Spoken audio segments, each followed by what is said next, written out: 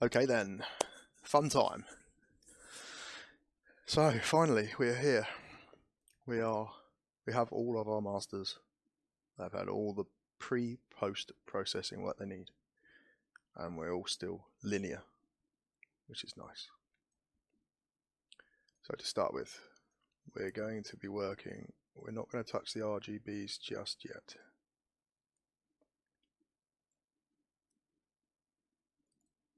Bring up our luminance. Actually, let's move those out of the way. Right, what we're going to do now is a, we're going to, what the ideal workflow is, have your luminance RGBs.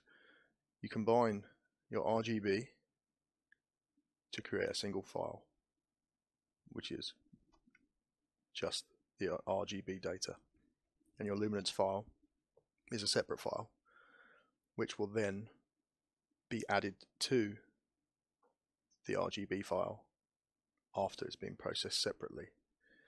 Because we can make changes in the luminance channel that we don't necessarily want to make change or make in the RGB because the luminance contains a lot more of the detail that's where we can uh, be a bit more aggressive with noise reduction and uh, histogram stretching and just to bring out some more detail.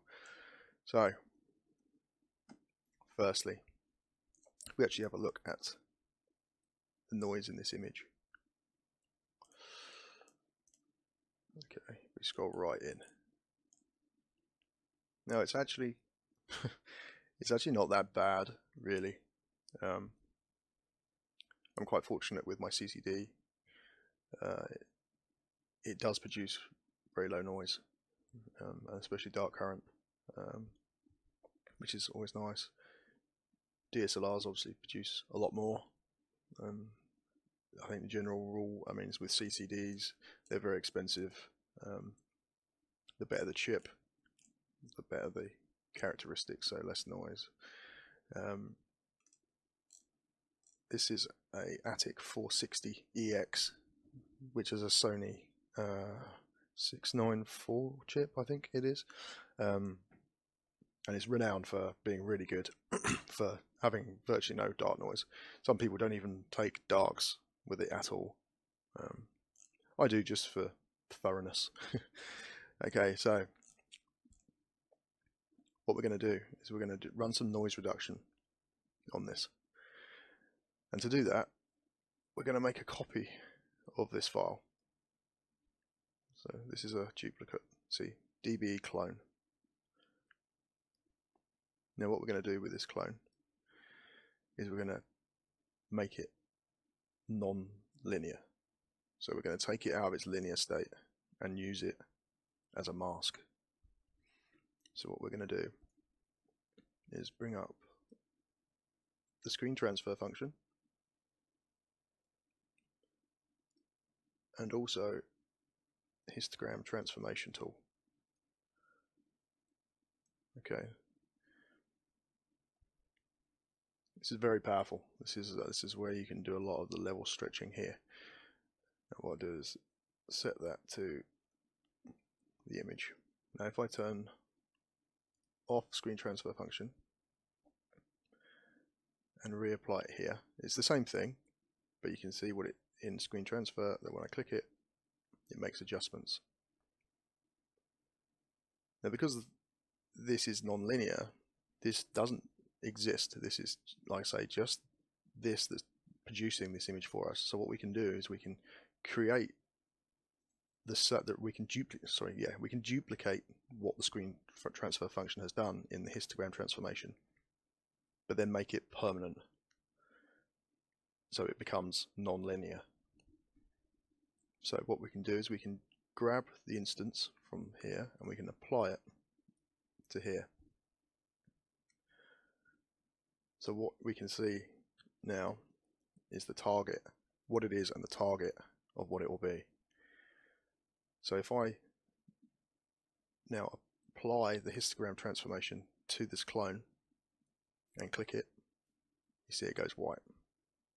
Because what in effect I've done is I've done two lots of screen transfer function. So if I now disable the STF, that's what it looks like now permanently. We reset the graph. Okay, and there we go. So this is the histogram of the luminance. See, there's actually a lot of data here, and it's nicely spread, which is good. So from here we can adjust our black points. We can move our mid sliders. And I would never change the whites. I always leave them right out at the end. Um, just don't. Um, what we can do also with the histogram transformation is bring up a real-time preview of the image. So this is this, and what I change when I change things here, you can see if I move the midtone slider, if I bring it up, you can see what it's doing to the image in real time. And you can see the top graph is where the histogram will be if I was to apply this change. So if we just reset, what I'm going to do is actually I'm just going to bring in some of the blacks and I'm going to increase the midtones very slightly. So this is then what it will become, which is good. This is what we want. So if I turn off the preview, I drag the instance to the clone,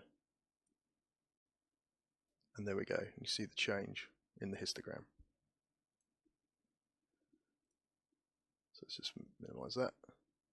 So if we were to go back, if we undo it, we can see the change in the histograms. Redo the change, and that's good.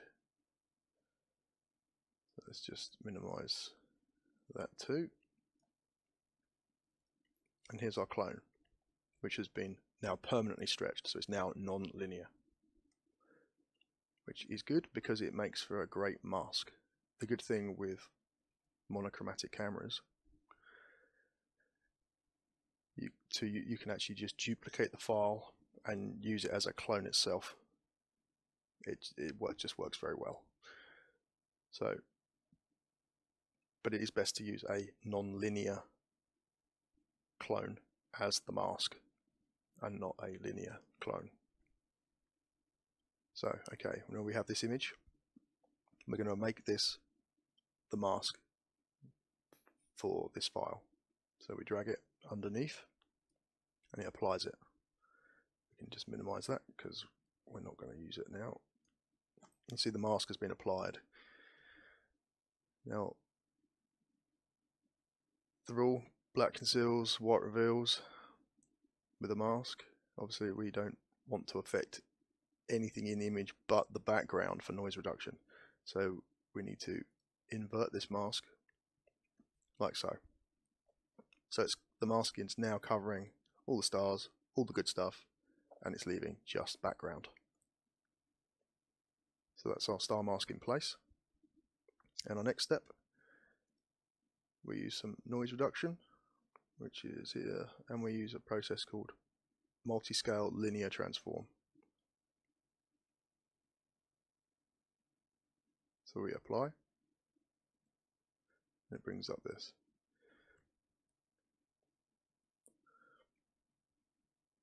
And this uses wavelets and layers to uh, apply noise reduction to masked or unmasked areas.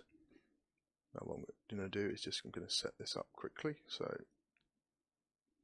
you could be more aggressive with noise reduction in the lower levels, or sorry, the like layer one, layer two, and you get progressively less as you go up.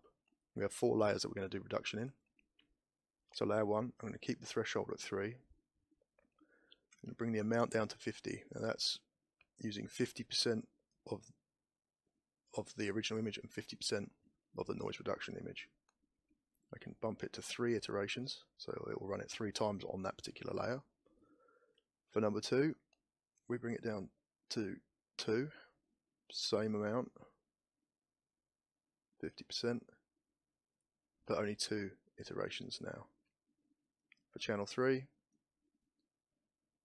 We come down to 1. Same amount again.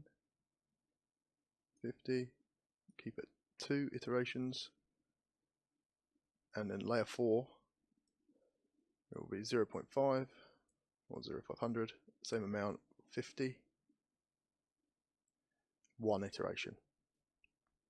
Okay, now that is set up to run. Now what I'm going to do is I'm going to just run it, drag the instance, and let it go. and now we just wait. Wait for it to do its thing. You can see it's going through the layers individually. So there's a lot of stuff going on behind the scenes. Um, I have to say this does work very well for noise reduction.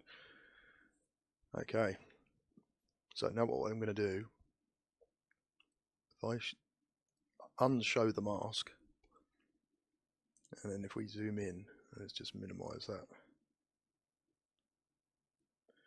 So if we move into some background here, let's say. So this is after the change. If we undo it, you can see there. So that was the noise before. Note the stars.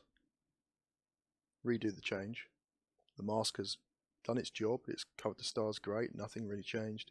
But we lost all that noise in the background. So we're starting to look pretty good. Okay, so now our next step, we can actually now take our luminance file, about the mask, we can uh, remove it altogether because we're not now going to use it again. We're not for this particular part can close that. Now this is still linear, so we now need to take this to non-linear. So the same as before. If I turn it off, you see it's still in its linear state. Reapply the transfer. So we take the transfer settings and we apply it to the histogram. So this will be our end result once it's been taken. We take it off, and then drag the histogram transformation to the image. We now reset the graph, and there we go.